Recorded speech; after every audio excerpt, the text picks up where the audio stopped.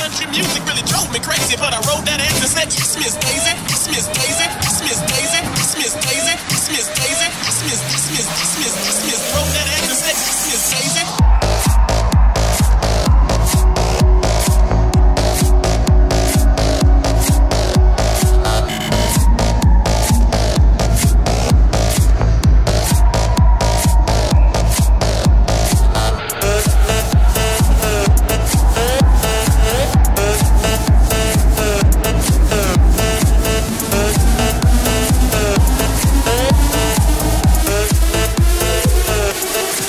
Oh,